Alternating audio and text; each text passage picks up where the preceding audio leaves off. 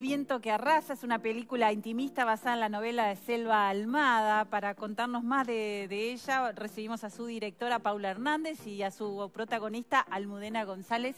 Le damos la bienvenida, gracias por estar con nosotros. Gracias, por invitarnos. Bienvenida, placer enorme. Bueno, una película que fue totalmente rodada acá en Uruguay, ¿no? Así es, año 2022, tuvimos muchos meses acá filmando de punta a punta, porque filmamos en varios lugares de Uruguay. Mirá, ¿cómo fue ese rodaje? Digo, porque estábamos ahí, que sí, que no, que abrían las puertas Así que no, estamos saliendo de la pandemia, pero era, ¿no? No, ahí ya estábamos. en este momento nosotros filmamos en la segunda parte a partir de septiembre. Más que nada esto que vos decís fue cuando vine a ver decorados, que no se sabía uh. muy bien qué pasaba. Pero no, el rodaje fue muy fluido, se filmó en gran parte de Montevideo Rural y después ya sí nos fuimos con un, equipo un poco más chico a Los Palmares, al Chuy, a Cerro Largo. ¿Y por qué fue en Uruguay? Porque hay algo que parte un poco del, universo de la novela de Selva Almada, que es una zona medio mesopotámica. Eh, en algún momento la película se iba a filmar en Argentina, es una coproducción entre Argentina y Uruguay. Después cada vez más se vino corriendo hacia acá.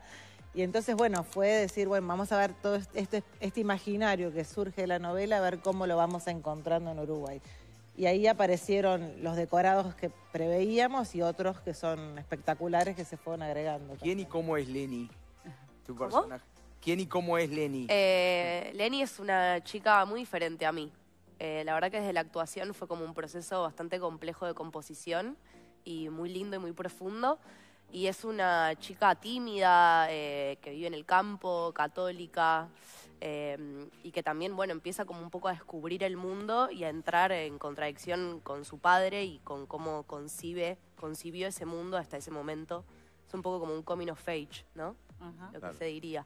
¿Y cómo fue rodar? O sea, una película que está sobre ruedas, ¿no? Porque van, van recorriendo diferentes lugares, digo, ese tran. Sí, es, es una especie de road movie en, en, algún sentido, con una gran detención, que es el momento donde se encuentran estos cuatro personajes y armamos como un diseño de eso mismo, ¿no? De qué cosas deberían ser filmadas de forma liviana, casi como ir una especie de documental o cortometraje con muy poca gente para porque había mucho que, filmar en esos caminos y otras cosas, bueno, más contundentes, todo lo que tiene que ver con el universo del taller, con la confrontación de estos dos mundos, fue en un en un decorado ahí fijo que quedamos. Fue muy, muy interesante, estás permanentemente en movimiento y en diálogo con la naturaleza, ¿no? Filmar una película puro aire, libre. con todas las sorpresas que pueden eh, generar. Tal cual. O sea, lo mismo que le va pasando a los personajes, también te pasa a vos en la situación de estar rodando, ¿no? Que tenés que ir adaptándote a muchas de esas situaciones. Y hablando de adaptación, ¿fue difícil, complicado el tema de adaptar la novela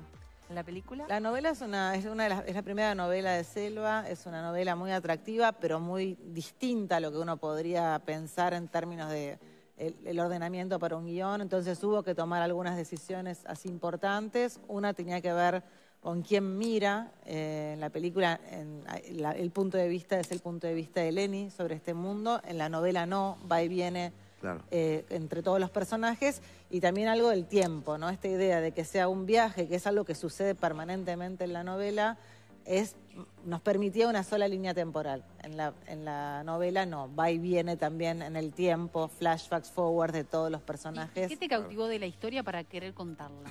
En principio es un mundo muy poderoso de esos cuatro personajes, están muy bien escritos toda esta idea sobre la fe y sobre estas creencias tan extremas, ¿no? es, un pastor evangélico que decide recorrer distintos puntos donde no llega la ayuda de nadie y a partir de ahí empieza, bueno, como a armar su misión.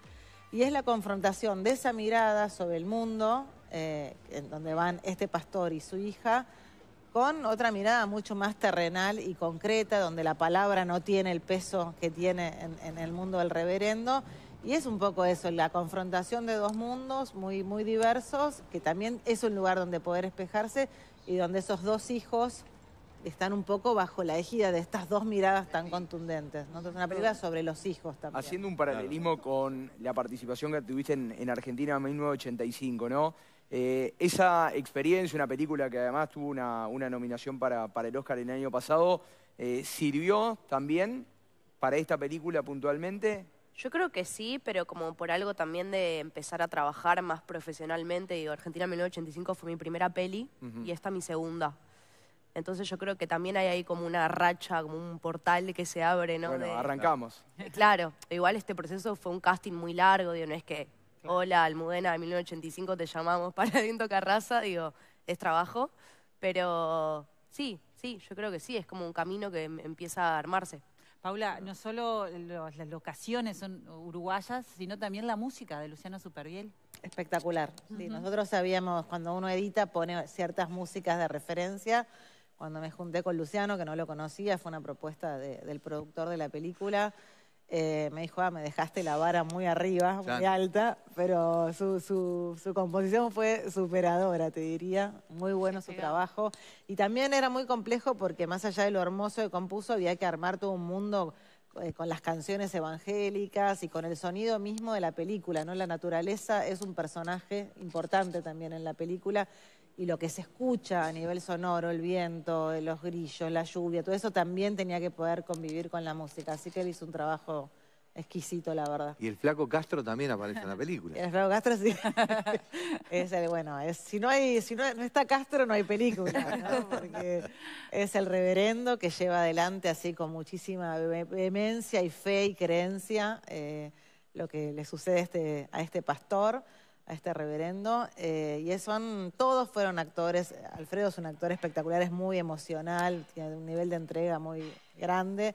Pero lo mismo fue ocurriendo con los cuatro, ¿no? Con Almudena y con Sergi López, actor eh, catalán, y con Joaquín Acebo, de Argentina. Fueron actores así que se largaron a, a- eh, también como un acto de fe, una creencia en esto que había que construir y, y muy puestos en, en- Hay en algo eso. también de los vínculos, aparece el tema vincular, Sí, hija, claro. padre. La película habla sobre esos vínculos, o sea, están estas ideas temáticas que, que mencionaba recién, pero está muy concentrado en esa cosa vincular. ¿no? Yo venía trabajando películas sobre cosas familiares, pero más que nada desde el mundo de las mujeres, de las madres, y esto me permitía, bueno, contar estos hombres, ¿no? Y más, más que nada estos dos chicos que crecen, digamos, eh, son hijos que trabajan para sus padres, que no tienen demasiada posibilidad de elegir, y entonces esta situación un poco desacomoda a todos Claro. y bueno, uno empieza a escuchar qué sucede con ellos, cuáles son los deseos de construir sus vidas. Claro. Sí, también hay algo como muy espejado en esto de los vínculos, ¿no? Como estos dos padres tan distintos entre sí que se encuentran y estos dos hijos que están creciendo, uno tiene 15, la otra piba 18, como algo de, de- de verse un poco enfrente y ver ahí qué pasa también por, Claro. por oposición y por, por similitud. ¿Qué devoluciones han tenido? Muy buenas. La película viene haciendo un recorrido así muy lindo. Arrancó el año pasado, en septiembre, en el Festival de Toronto. Después fue la película Apertura en San Sebastián, en el festival. Y a partir de ahí, todo un recorrido de festivales. Y se estrenó en Argentina ahora en marzo. Así que nos fue bien también ahí. Así que estamos muy, muy contentos. Y también contentos de estrenarla acá, ¿no? Porque Claro. es un poco... Sí, sí, toda la expectativa, a ver Sí, qué. y además como, bueno, volver a encontrarse con la gente con la que uno hace dos años hizo esta película y, y- y cerrar un poco también el ciclo de, de Claro. Más, de la mitad del equipo son uruguayos, ¿no? Casi todos son uruguayos. todos. Sí, ¿Dónde sí. se puede ver la película? Se se- puede ver en distintos cines, en la Cinemateca, yo voy a estar el jueves presentándola con ella, la función de las 19.15, va a estar en live, va a estar en las salas del... ¿Sala ¿La B? B? Se llama Sala B, Sí. y después en algunos eh, cines del interior también. Perfecto. Bueno, felicitaciones, Paula. Gracias. Gracias. Muchísimas gracias. Bueno, ¿eh? muchas gracias. Gracias. Éxitos. Gracias. ¿Vamos a la pausa? Pausa y ya venimos. Dale.